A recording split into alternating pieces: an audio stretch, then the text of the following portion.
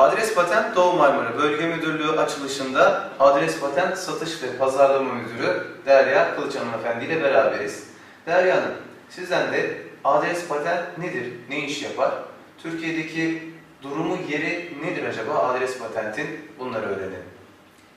Ee, inşallah hepimiz için hem Sakarya için hem de adres patenti için ilk önce hayırlı olmasını temenni ediyorum.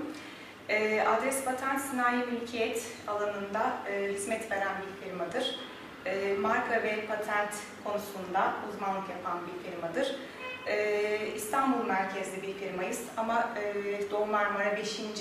E, ilde aç, açmış İstanbul, Ankara, Şöyle, İzmir. Evet, İstanbul merkez, galiba. evet, Anadolu yakası ve Avrupa yakası olmak üzere e, İzmir, Ankara, e, Denizli e, ve son olarak da Doğu Marmara. İnşallah son olmaz diyoruz. Bundan sonra da e, farklı şekil, şehirlerde e, bu şekilde yerler açarız. İnşallah kısmet olursa diyorum. 15 yıllık firmayız. E, 15 yıldır bu işi yapıyoruz. E, Ben de firmanın e, 12 yıldır çalışıyorum. Daha önce e, marka konusunda uzmanlık yaptım firmada. Son bir yılda e, satış ve pazarlama müdürlüğü yapıyorum. E, Adres Patent'in e, aslında şöyle söyleyeyim, evet 15 yıllık bir geçmişi var.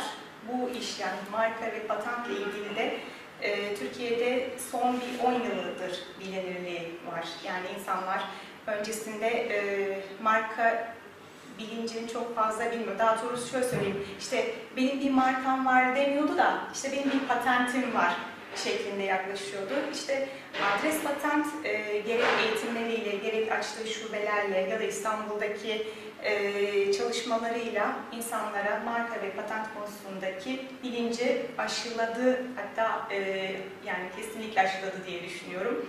E, inşallah daha güzel şeyler yaparız. E, bundan sonrasında da e, biz Türkiye'nin birçok yerinde e, şubeler açarız. E, Sakarya için de hayırlı olsun diyorum. Adres patenti için de hayırlı olsun diyorum. Hayırlı, Hayırlısı. hayırlı olsun. Tekrar hayırlı olsun diyoruz biz de. Sağ olun.